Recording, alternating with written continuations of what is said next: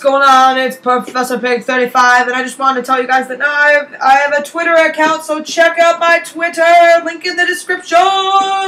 Whoop whoop. Hope